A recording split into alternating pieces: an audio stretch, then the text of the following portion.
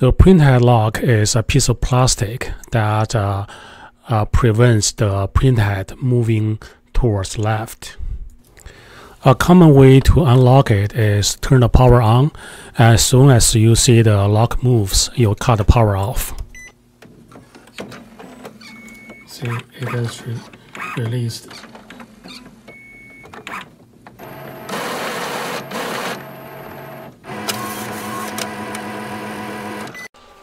And this is how the printer powers off.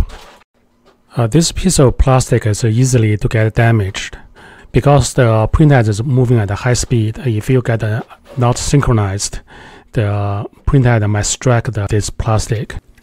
Also, during a paper jam, you might be fighting the printer and damage this uh, plastic.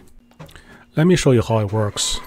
The lock is right here, and uh, it is controlled by those two gears.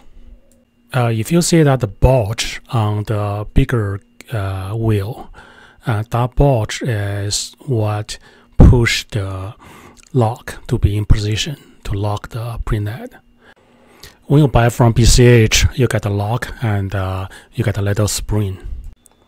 The spring connect those two hooks so I can put the lock back in unlock position.